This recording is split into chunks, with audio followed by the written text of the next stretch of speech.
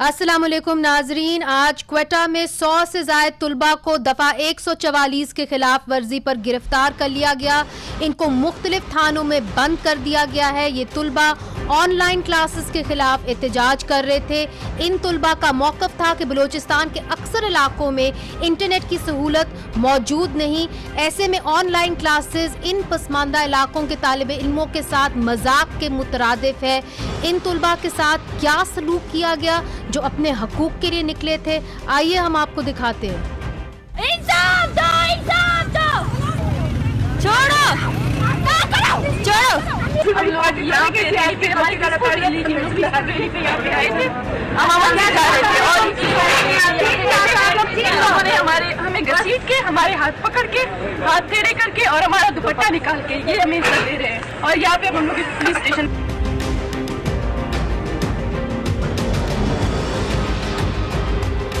नाजरीन, इन अरेस्ट के बाद रिलीज़ ऑल स्टूडेंट्स के नाम से एक ट्विटर हैंडल के ऊपर जो है ट्रेंड भी शुरू हो गया और बिलावल भुट्टो जरदारी, पाकिस्तान पीपल्स पार्टी के चेयरपर्सन ने ट्वीट किया। उन्होंने कहा कि पुरमन एहतजाज करना सबका आइनी हक है। क्वेटा में तुलबा की गिरफ्तारी की शदीद मजम्मत करता हूँ। लोगों की आवाज़ दबाना और इन पर बदतरीन तशद करना इस हकूमत का वतीरा बन चुका है। पीपल्स पार्टी तुलबा की रिहाई का मुतालबा करती है। हमारे साथ है लियाकत शवानी तर्जमान है बलूचिस्तान हुकूमत के बहुत बहुत शुक्रिया।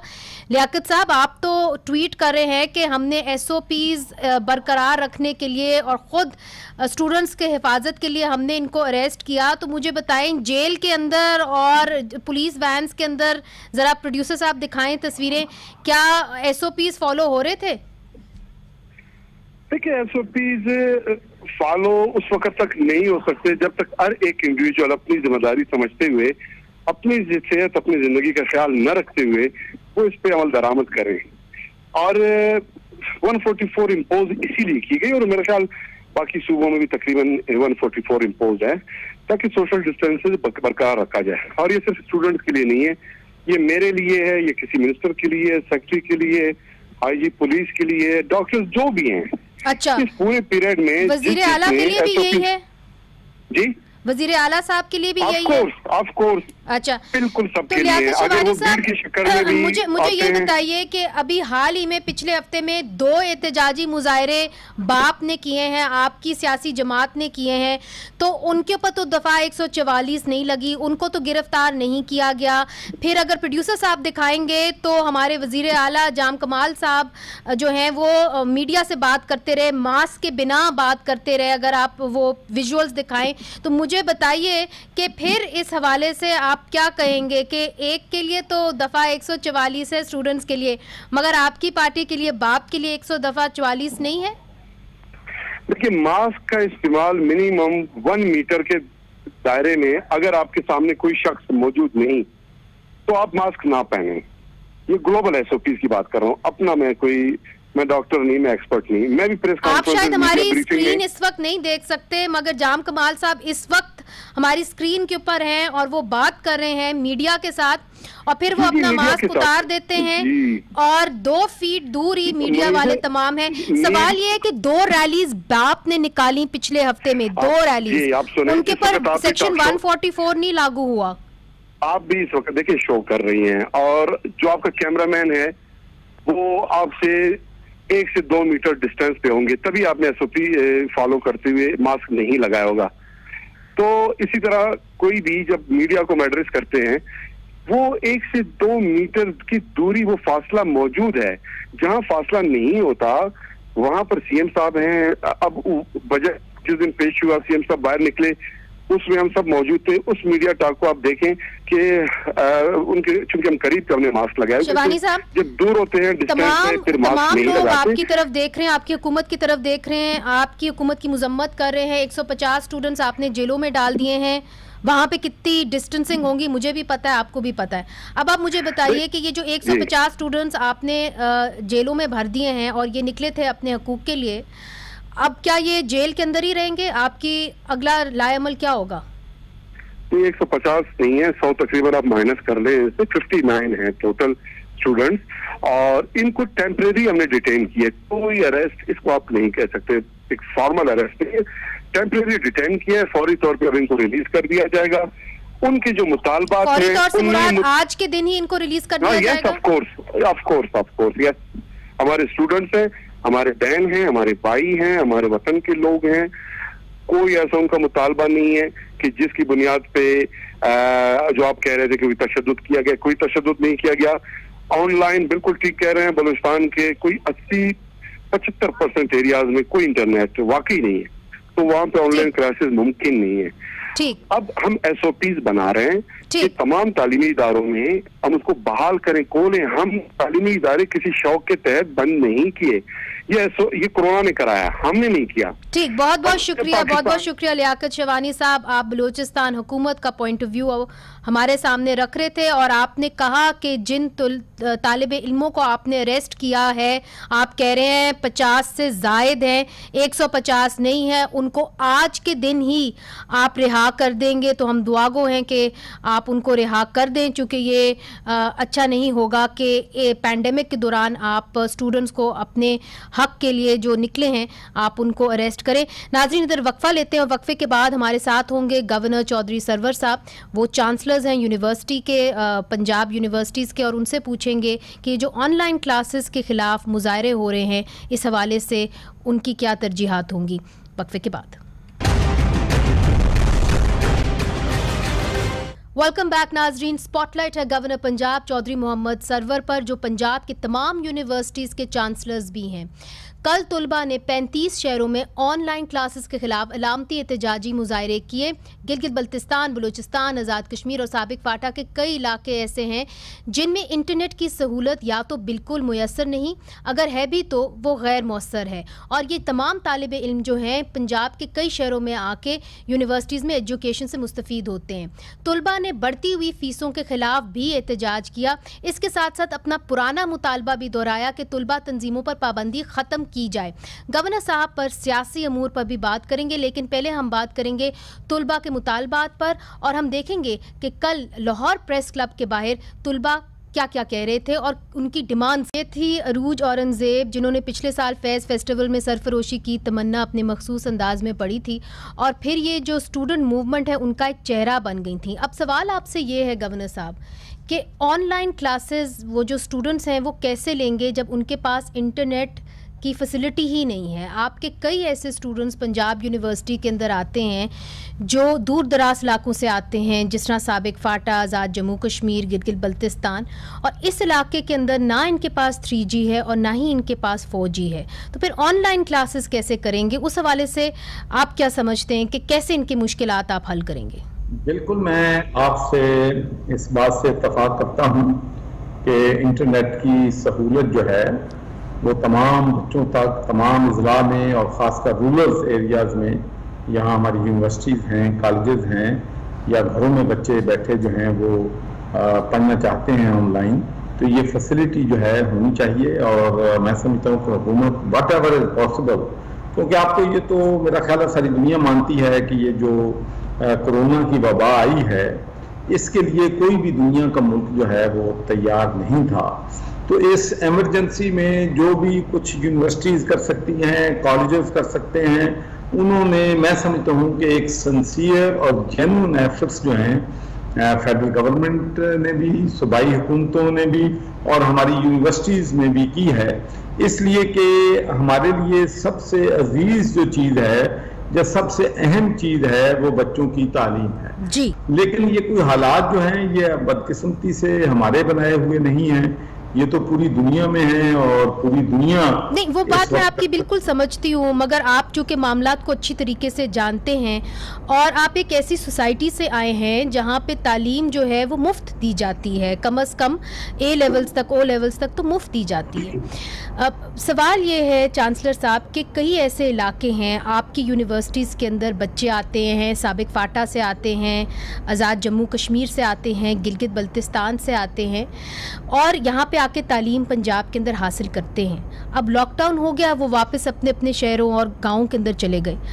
अब मसला ये है कि वहाँ पे कम्युनिकेशन लाइंस जो हैं, नहीं हैं। जिस तरह के हमारे पास इंटरनेट सर्विसेज़ हैं, या एक कंपटीशन के तहत इंडिपेंडेंट कम्युनिकेशन नेटवर्क्स हमारे तक हमारे तक हैं, वो नहीं है। वहाँ पे एससीओ जो है वो इसको मोनोपलाइज भी करती है कंट्रोल भी करती है। आपको मेरे से इस बात का बेहतर पता है। और जब उनसे पूछा जाता है कि क्यों नहीं आप बाकी दीगर यहाँ पर टेली कंपनीज़ को आने देते तो वो कहते हैं कि यहाँ पे एक दहशत गर्दी का ख़दशा है, यहाँ पे मिलिटेंसी का ख़दशा है।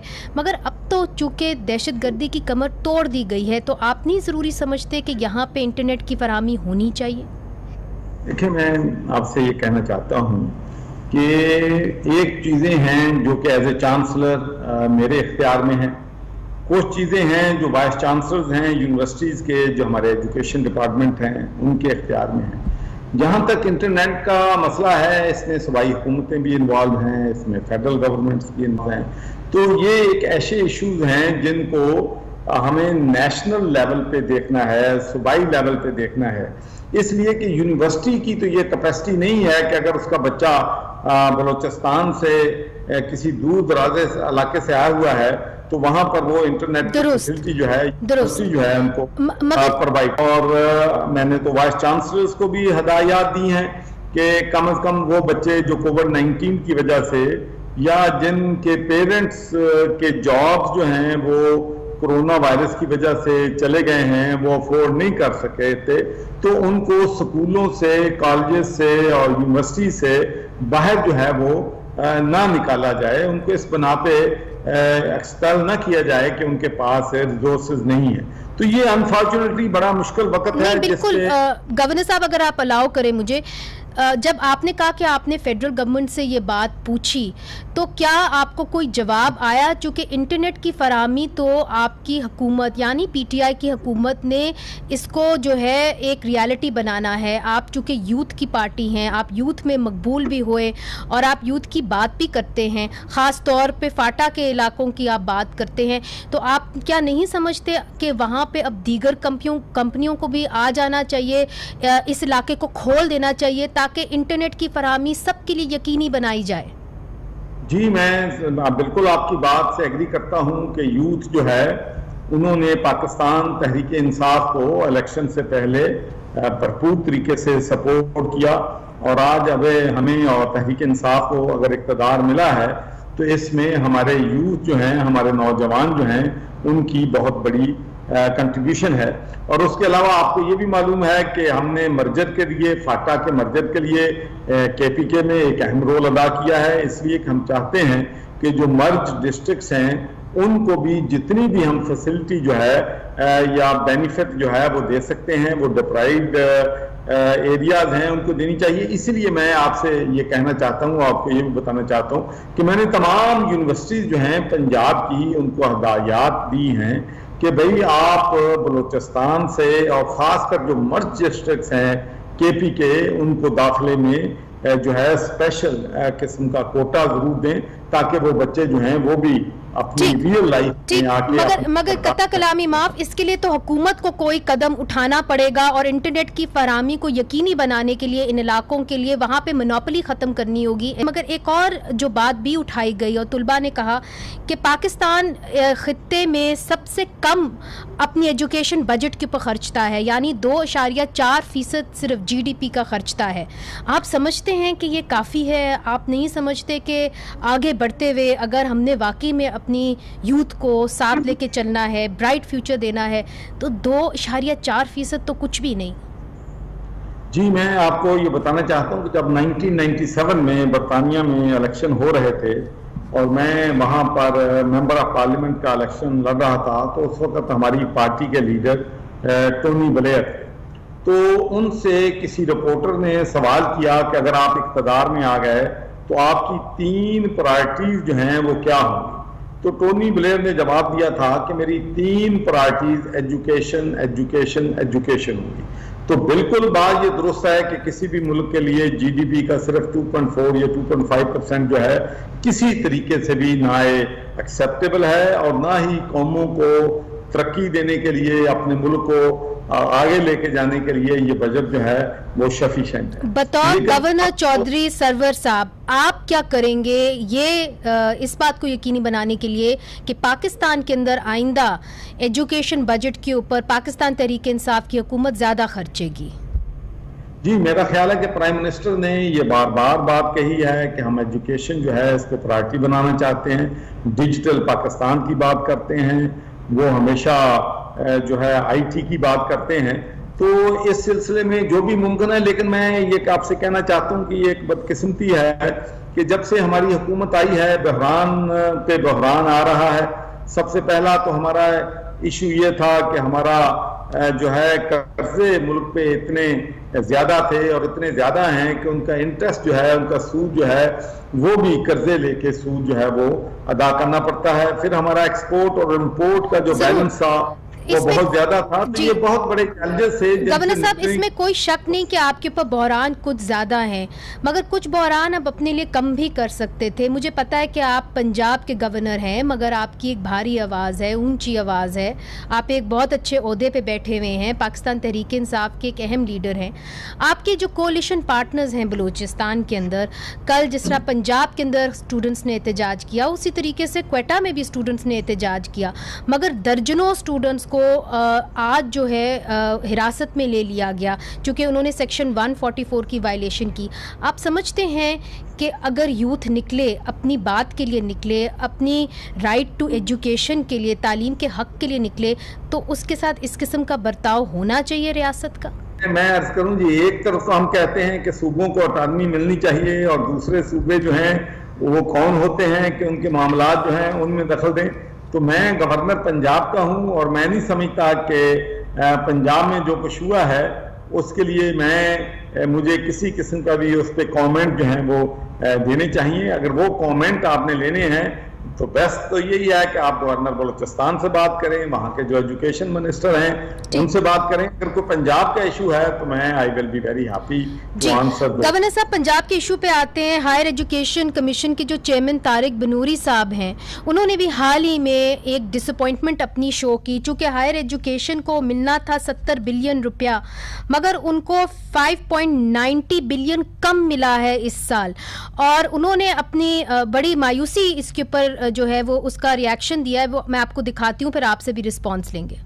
Funding situation is the worst it has ever been in our entire history it is the worst it has ever been in our entire history and this is something that does need to be corrected because it's really digging the grave of the country not only of the education system but of the country as a whole last year the budget was cut slashed uh, this year also there's a, a, nominal increase, but very very little, and so we will continue to struggle.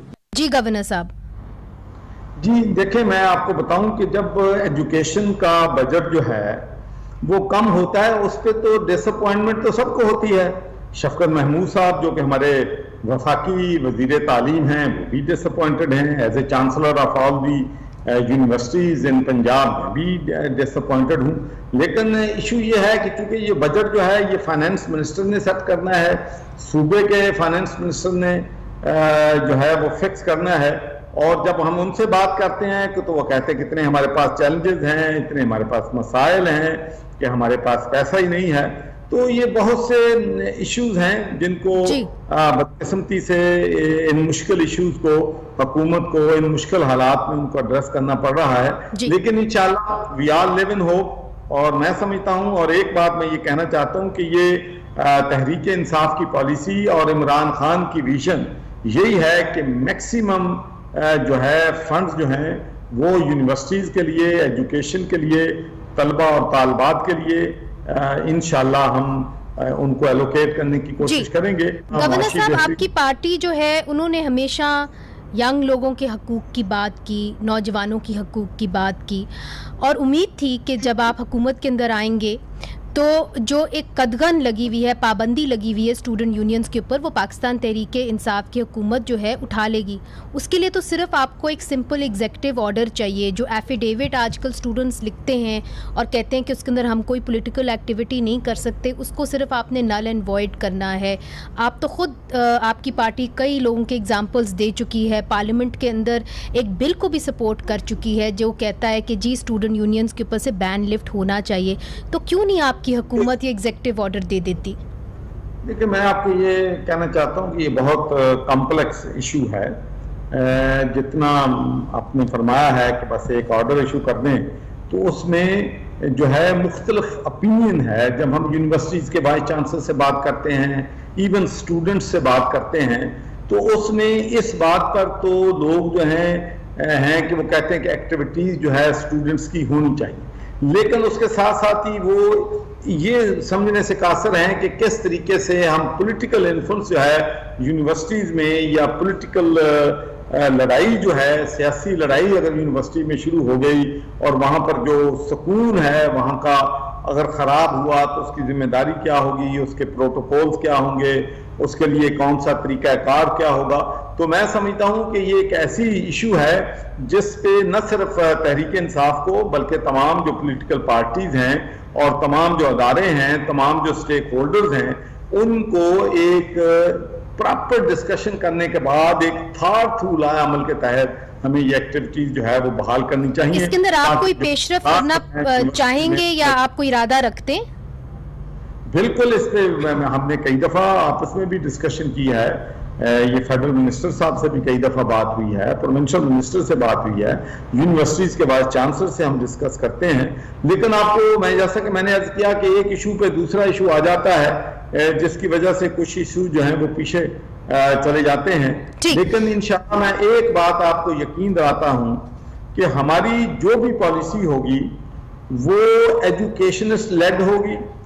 हम policy impose नहीं करेंगे universities पे colleges पे और दूसरा हम students पे भी इम्पोज नहीं करेंगे हम स्टूडेंट्स से भी मुशावरत करेंगे। इसीलिए मैंने ये स्टूडेंट्स जो एक्शन कमेटी है उनकी मीटिंग के बाद फ़ौरन बाद आठ लोगों की वाइस चांसलर और सेक्रेटरी हायर एजुकेशन की कमेटी बनाई है जो तमाम स्टूडेंट्स के जो ग्रुप्स हैं वो इनको मिलेगी और इनके जो भी इश्यूज़ हैं इनको एज ए टॉप प्रायोरिटी जो है रिजॉल्व करने की कोशिश की। गवर्नर साहब आपने बड़ी अच्छी बात की। आपने कहा कि आपकी हुकूमत पॉलिसी इम्पोज नहीं करना चाहेगी।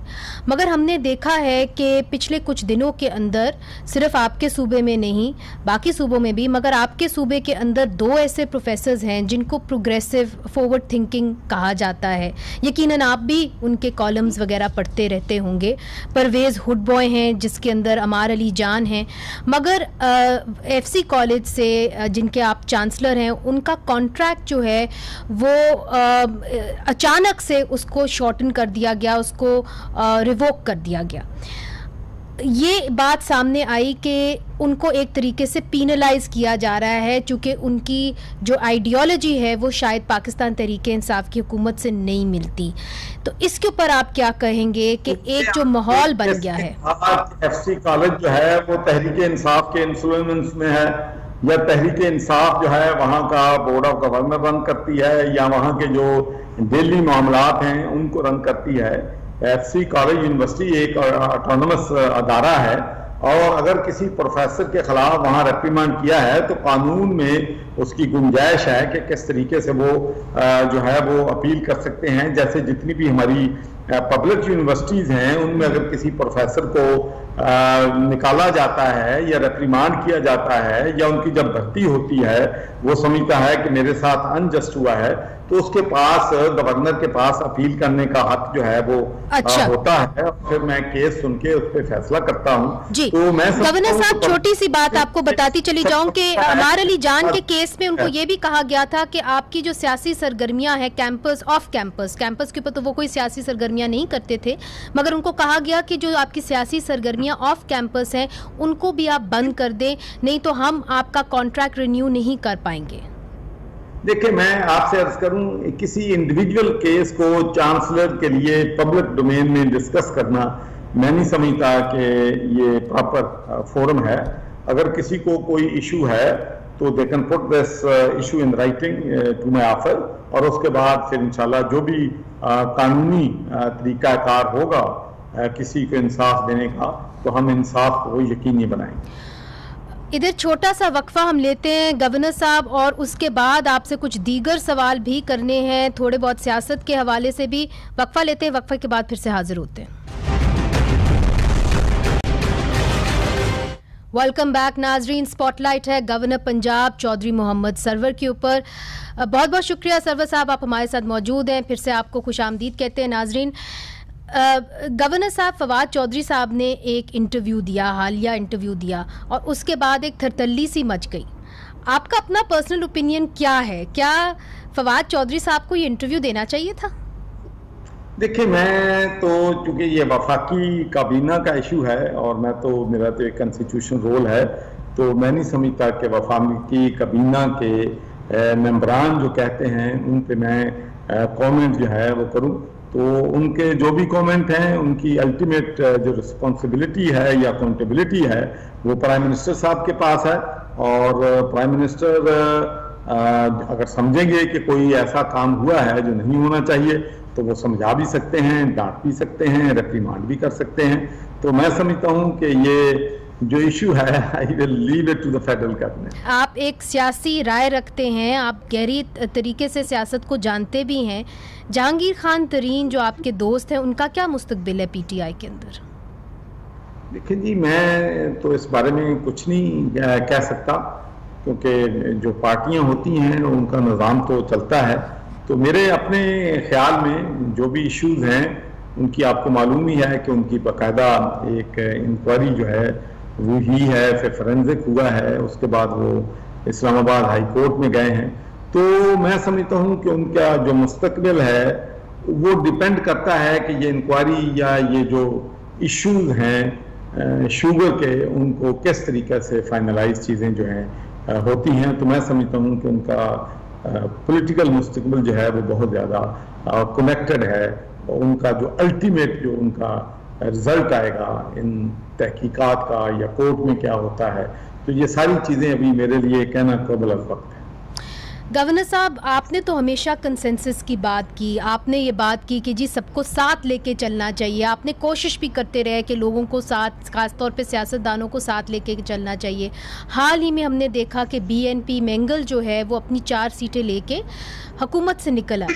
क्या वजह है कि आपके लीडर इमरान खान साहब सबको साथ लेके नहीं चल पाए। और आज हम देख रहे हैं कि आपकी पार्टी के अंदर से इस किस्म के बयान आ रहे हैं कि जी इलेक्टेड लोगों को साथ नहीं लेके चला जाता पीटीआई के अंदर।